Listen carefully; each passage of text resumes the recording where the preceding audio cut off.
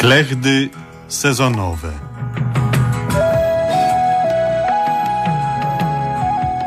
Dziś rozterki żelaznego karła.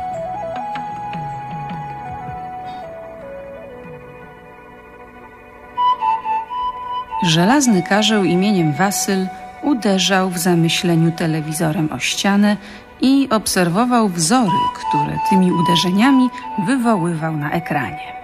W pewnym momencie zaprzestał uderzeń i to z dwóch powodów. Raz, że nie wcelował w ścianę i uderzył się pokrętłem kontrastu w oko, a dwa, że zaciekawił go fragment nadawanego właśnie programu. Jedną ręką, trzymając się za twarz, drugą usiłował poprawić odbiór. Audycja mówiła o równouprawnieniu i o tym, że mężczyznom należy się Dzień Ojca. Wasyl poczuł rosnące zdenerwowanie. Jak to? Wszyscy będą mieli święto, a on nie. I to tylko dlatego, że nie jest ojcem?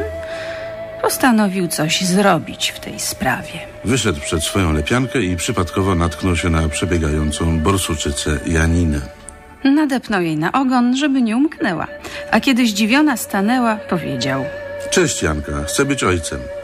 Bardzo silne uderzenie w ciemię pozbawiło go przytomności. To mąż Janiny, borsuk Pilawski, zbulwersowany propozycją złożoną żonie, uderzył Wasyla wiadrem z ołowiem.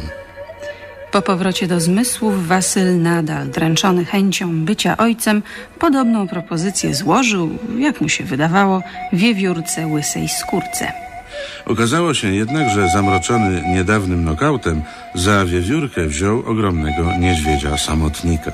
Poza ogromną siłą niedźwiedź znany był z całkowitego braku poczucia humoru, więc niewiele myśląc wbił Wasyla w pień starego dębu, a następnie przepiłował Wasylem dąb wzdłuż. Następnego dnia, skołowany nieco, Wasyl pisał do telewizji na kawałku kory brzozowej. Droga redakcjo, postanowiłem zostać bezdzietnym ojcem. Pomóżcie, bo inaczej mnie moja chęć ojcostwa wykończy. A kolejni mężowie leśnych piękności zacierali ręce, bo wiedzieli, że bezdzietny ojciec prędzej czy później wpadnie im w ręce. Ale to już zupełnie inna historia, którą opowiem Państwu w środę.